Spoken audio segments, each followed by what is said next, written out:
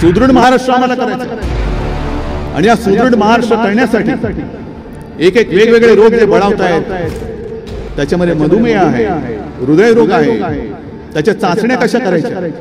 आणि म्हणून एका रुपयामध्ये प्राथमिक आरोग्य चाचण्या त्याची केंद्र मी महाराष्ट्रभर करणार पूर्ण महाराष्ट्रामध्ये करणार एका रुपयात आरोग्याची चाचणी. नमस्कार.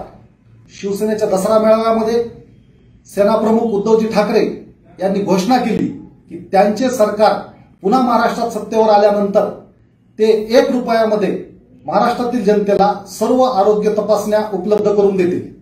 उद्धवजी मला लक्षात येत नाही की गेल्या पाच वर्षामध्ये महाराष्ट्रात सत्तेत कोण होतं? आपला पक्ष ह्या राज्य सरकारमध्ये होता एवढेच नाही तर आरोग्य मंत्रालय देखील आपल्या शिवसेना या पक्षाकडे होतं. परंतु गेल्या पाच वर्षामध्ये आपण काय केलं? गेल्या पाच वर्षामध्ये आपण जर पाहिलं तर औषध खरेदीमध्ये भ्रष्टाचार झाला. औषध खरेदीचं धोरण बारगळलं आणि त्यामुळं आज देखील अनेक शासकीय रुग्णालयामध्ये मुबलक औषध पुरवठा नाही. साध्या साध्या गोळ्यांचा तुटवडा शासकीय रुग्णालयामध्ये दिसतो. शासकीय दवाखान्यातील डॉक्टरांची अनेक पदे रिक्त आहेत. शासकीय दवाखान्यातील डॉक्टरांना गेल्या पाच वर्षात अनेक मारहाणीच्या घटना घडल्या. त्यावेळेस आपण काय केलं?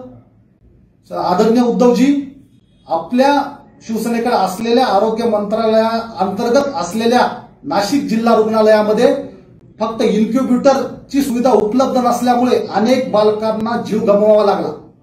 आपण किती सरकारी दवाखाने यंत्रणा सुसज्ज करू शकलात? आधुनिक यंत्रसामुग्री त्या ठिकाणी आणू शकलात?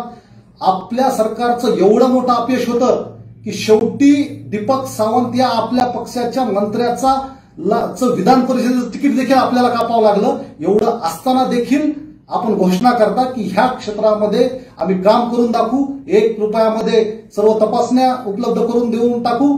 उद्धवजी महाराष्ट्रातील जनतेने आपल्याला आणि शिवसेनेला आता पूर्ण ओळखलेलं आहे.